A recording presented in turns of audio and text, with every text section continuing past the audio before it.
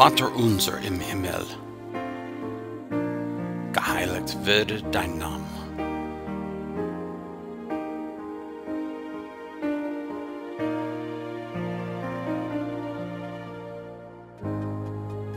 Dein Reich komme, dein Wille geschehe, wie im Himmel so auf Erden.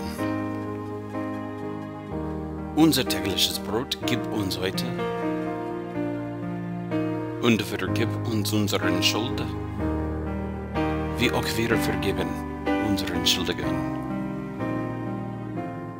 Und führe uns nicht in Versuchung, sondern erlöse uns von dem Bösen. Amen.